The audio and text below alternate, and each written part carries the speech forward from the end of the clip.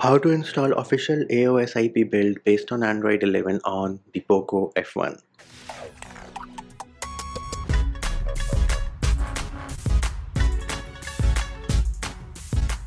Hey peeps, what's up? Munchy here, back with another video and in this video I'm going to show you how you can install the official AOSiP build based on Android 11 on the POCO F1. Now what are the prerequisites for this video? Well for starters you do need to have an unlocked bootloader and you also need to have TWRP recovery installed. How do you unlock the bootloader? How do you install TWRP recovery? Videos for those can be found in the description of this video. Next thing, make sure your battery is charged at least 50 to 60%. Do not, and I repeat, do not do this process if your battery is at 20 or 30%. Another thing, make sure you do have a backup of all your pictures, videos, anything important which you have on your device because if you run into any boot loops, any encryption issues, you will have to perform a format data and once you perform a format data, you are going to lose all your pictures, videos, anything important which you have on your device.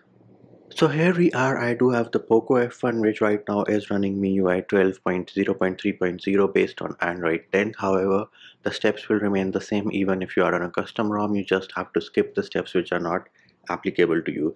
First of all, go into settings, then you will go into password and security, remove your screen lock, fingerprint and face unlock. Once that is done, go back, go into Mi account and remove your Mi account. Then we can go back, go into accounts and sync and remove your Google account. Once you have removed all the accounts and security measures, make sure you reboot your device once. Now, why are we removing all the accounts and security measures? We're doing this because we are going from one ROM to another and I don't want you to be locked out of your own device next thing you need to know is whether your device is encrypted or not. So you can go into settings password and security and privacy here and you will notice that encryption and credentials for me it says device is not encrypted. This means that I need to flash disable force encryption. Again if your device is not encrypted or decrypted you need to flash disable force encryption. Those of you who are on custom ROMs which are based on AOSP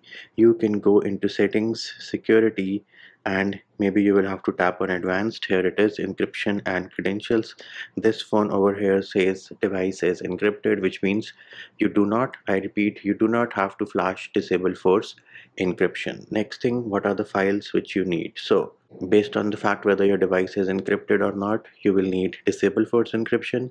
Then you need the firmware file for the POCO F1 and we are using the firmware from 12.0.3.0 you can of course skip flashing this file if you already know you have the 12.0.3.0 firmware but I flash it just to be safe. Then you need the ROM itself. So this here is AOSiP official build for the POCO F1 do note the ROM is available in two variants vanilla and Google Apps. I am using the vanilla build which is why I am also flashing Nik's stock G apps because I prefer to have pixel launcher. Next thing we need to do is boot into our custom recovery. So for starters turn off your device and once the device has turned off press and hold the power button and the volume up button till you see the recovery logo so power volume up press and hold till you see the recovery logo. And here it is TeamWin recovery logo came went off screen turned off press the power button swipe to unlock. If you get this message about keep system read only swipe to allow modifications. Next up we will go into wipe advanced wipe. Select Dalvik cache system vendor and data and then swipe to wipe. Once that is done we will tap on the home button and then you can go into install. Now navigate to the folder where you have downloaded all the files. In case you downloaded the files on your phone directly they will be in the download folder. If you transferred them from your computer you would know the folder. First file we need to flash is the firmware file. So select the poco f1 firmware add more zips. Next is the rom file. So this here is the aos ip official build and then add more zips and select Nik's stock gapps and then swipe to confirm flash. As always if you're using the gapps build of the rom itself then you should not or then you do not need to flash an explicit or an external GApps package.